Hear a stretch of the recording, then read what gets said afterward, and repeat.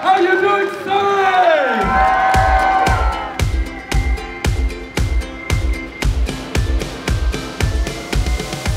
Canadians are going to have a very clear choice to make.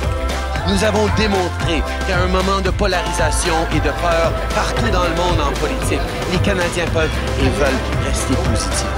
That's exactly what our government is focusing on doing.